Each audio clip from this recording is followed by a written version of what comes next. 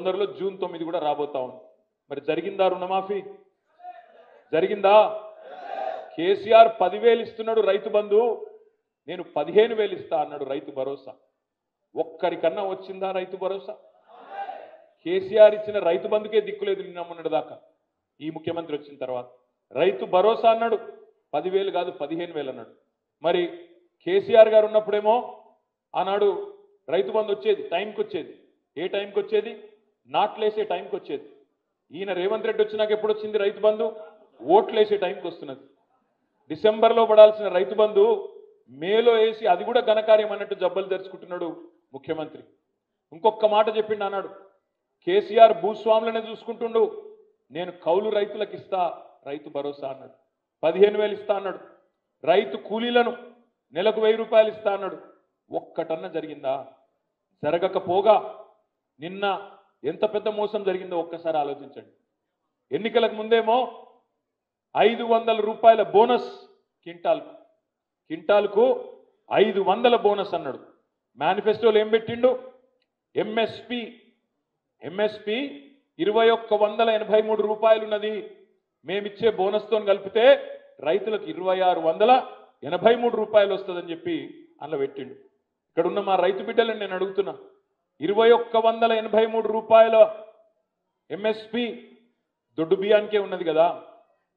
మరి నువ్వేమో మేనిఫెస్టోలో పెట్టిందేమో దొడ్డు బియ్యానికి దొడ్డు వడ్లకు దొడ్డు బియ్యం వచ్చే వడ్లకు నేను ఎంఎస్పి ఇస్తా బోనస్ ఇస్తా అని పెడితివి ఇరవై ఒక్క వందల ఎనభై మూడు దొడ్డు బియ్యంకున్నది దొడ్డు వడ్లకున్నది.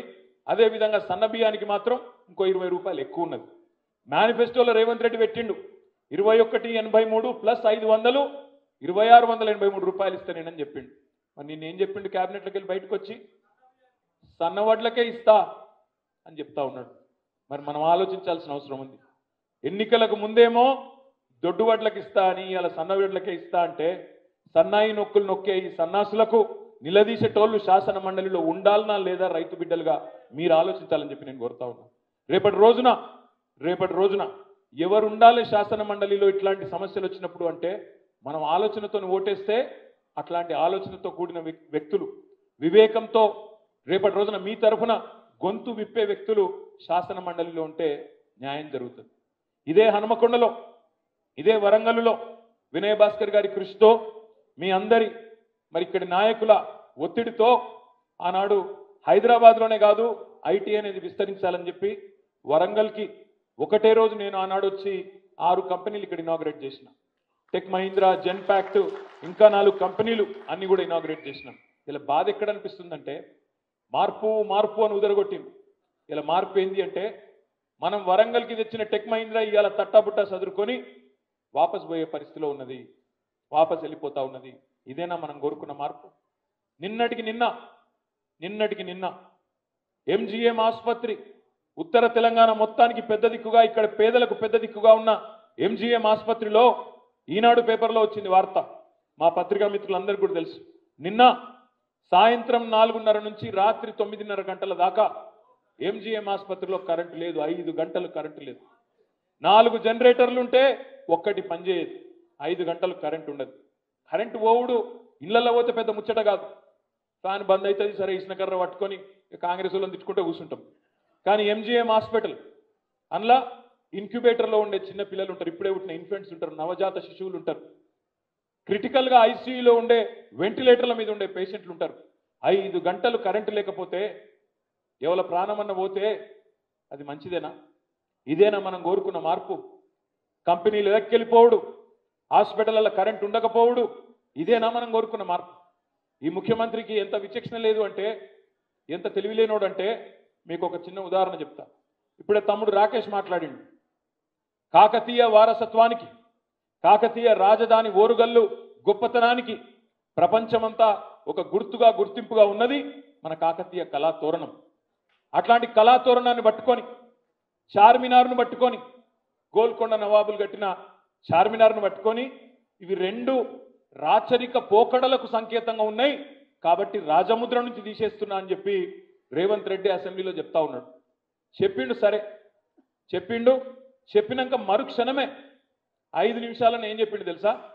జయ జయ హే తెలంగాణ అనే పాటను రాష్ట్ర గీతంగా పెట్టినామని చెప్పిండు. పాపం ఆయనకి ఎంత తెలివిలేనోడంటే ఎన్నడు తెలంగాణ ఉద్యమంలో ఉన్నోడు కాదు. మీ లెక్క మా లెక్క కొట్లాడినోడు కాదు. అసలు జే జే హే తెలంగాణలో ఏముందో కూడా ఆయనకి ఎరకలేదు జే జే హే తెలంగాణ అని రాష్ట్ర గీతంగా రేవంత్ రెడ్డి ప్రభుత్వం ఎంచుకున్న కాంగ్రెస్ ప్రభుత్వం ఎంచుకున్న ఆ గీతంలో ఏమున్నది? కాకతీయ కళా ప్రబల కాంతి రేఖ రామప్ప. గోలుకొండ నవాబుల గొప్ప వెలుగే చార్మినారు. అంటే ఎంత తెలివి తక్కువ సన్నాసి అంటే ఈ ముఖ్యమంత్రి ఆయన పెట్టిన రాష్ట్ర గీతంలోనే చార్మినార్ ఉన్నది కాకతీయుల గొప్పతనానికి ప్రతీకగా ఉన్న రామప్ప ఉన్నది కళాతోరణం ఉన్నది. కానీ అవి రాజముద్రలో ఉండద్దట. గిసంటోడు మన కర్మగాలి మన ముఖ్యమంత్రి అయింది గీత తెలివి తక్కువడు. అందుకే నేను మీ అందరికి విజ్ఞప్తి చేసేది. ఇట్లాంటి సన్నాసులకు బుద్ధి చెప్పాలి అంటే మనం వాళ్ళతో పోయి యుద్ధాలు చేయలేం గల్లా పట్టుకొని కొట్టలేం వాళ్ళతో పోయి బూతులు తిట్టలేం. మీరు చేయవలసిందల్లా ఒకటే. వాళ్ళు పెట్టిన గొప్ప అభ్యర్థి మీకు తెలిసి ఆయన ఎవరో. మామూలు అభ్యర్థిని పెట్టలేదు. నాకు ఇంతకుముందు మా ప్రవీణ్ అన్న చెప్తుంటే ఒకటి గుర్తొచ్చింది. ఇప్పుడు రే ఇప్పుడు మన రాకేష్ చెప్పిండు. నేను ఒకటే రోజు వరంగల్లో వివిధ కంపెనీలను పిలిపించి ఆరు వందల తొంభై రెండు ఉద్యోగాలు ఇచ్చిన ఒకరోజు జాబ్ మేళా పెట్టి అని చెప్పిండు రాకేష్. రేపు రాకేష్ గెలిస్తే రేపు రాకేష్ గెలిస్తే ఇందాక ప్రవీణ్ అన్న చెప్పిన ఒక ప్రశాంత్ పాలకుర్తిని పిలుస్తాడు. అయ్యా మా వరంగల్లో ఒక వెయ్యి ఉద్యోగాలు ఇక్కడ ఒక కంపెనీ పెట్టని చెప్తాడు. ఒక సమీర్ బాటియా దగ్గర పోతాడు. అన్నా నువ్వు రా జర మా వాళ్ళకు స్ఫూర్తినిచ్చే విధంగా ఒక ఉపన్యాసం ఇయ్యి. మా దగ్గర కూడా ఎట్లా ఐటీ ముందుకు పోవచ్చు పిల్లలు ఎట్లా ముందుకు పోవచ్చు చెప్పు అని రిక్వెస్ట్ చేస్తాడు. ఒక సామా ఫనీ దగ్గర పోతాడు. పోయి నువ్వు రెడ్ బస్ ఎట్లా పెట్టినావు? మా వాళ్ళకు కూడా కొంత స్ఫూర్తినిచ్చే విధంగా వచ్చి మా వాళ్ళలో కూడా ఉత్సాహం నింపు అని చెప్పి వాళ్ళని పిలుచుకొస్తాడు రాకేష్ గెలుస్తే. మరి మల్లన్న అంటే ఆయన గెలిస్తే ఎవరిని పిలవాలి ఆయన? చెంచల్ కూడా జైల్లో ఆయన సీనియర్లను పిలవాలి. పిలుచుకొచ్చి మీ ముంగట కూర్చోబెట్టాలి ఆ చిల్లర కలుగుతుంది మీకు చెప్పియాలి. ఇట్లాంటి క్రిమినల్ రికార్డు ఉన్న వాళ్ళను రాజకీయాల్లో ముఖ్యంగా పట్టభద్రులు మీరు పట్టం కడితే దయచేసి ఆలోచించండి. ఇప్పటికే రాజకీయాలంటే గొప్ప అభిప్రాయం లేదు సమాజంలో. అట్లాంటిది ఇంకా ఇట్లాంటి వస్తే ఇట్లాంటి వాళ్ళు చట్టసభల్లో దూరితే ఎట్లుంటుందో మీరు ఆలోచించండి. ఇవాళ కేసీఆర్ గారికి అవకాశం వస్తే కౌన్సిల్కి ఎవరిని పంపిండు? మన వరంగల్ నుంచి ఒక విద్యావంతుడు ఒక తెలివితేటలున్న మేధావి ఇవాళ డిప్యూటీ చైర్మన్గా గౌరవనీయులు బండా ప్రకాష్ గారిని వరంగల్ నుంచి పంపిండు. ఒక పెద్ద మనిషి ఇరవై నాలుగేళ్ళుగా కేసీఆర్ గారితో ఉద్యమ సహచరుడుగా ఉన్న మధుసూనాచారి గారు భూపాలపల్లిలో దురదృష్టవశాత్తు స్వల్ప తేడాతో ఓటమి పాలైతే వారిని కౌన్సిల్కి పంపిండు. ఎట్లాంటి వాళ్ళని పంపిండు కేసీఆర్?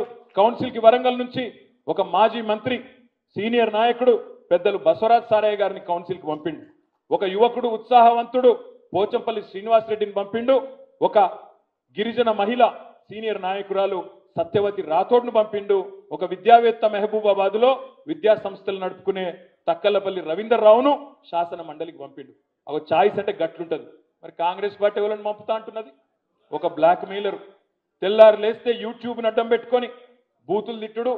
పెద్దవాళ్ళని తిడితే నేను కూడా పెద్దవాడిని అయిపోతాను అనుకునే విధంగా అవతల తెలంగాణ సాధించిన నాయకుడనే గౌరవం లేదు. డెబ్బై ఏళ్ళ పెద్ద మనిషి అనే గౌరవం లేదు.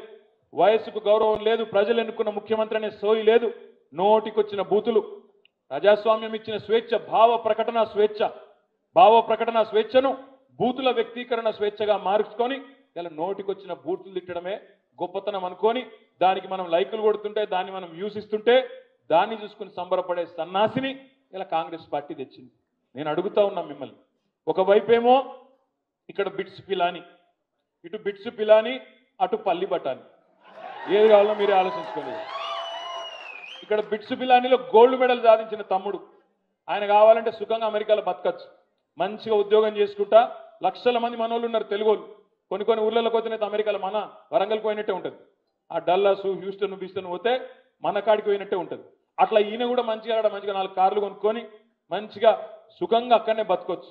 ఏడేళ్ళు అక్కడ పనిచేసిండు. ఫేస్బుక్లో పనిచేసిండు. అక్కడ సిటీ బ్యాంక్లో పనిచేసిండు. బిట్స్ బిలానీలో గోల్డ్ మెడల్ సాధించిండు.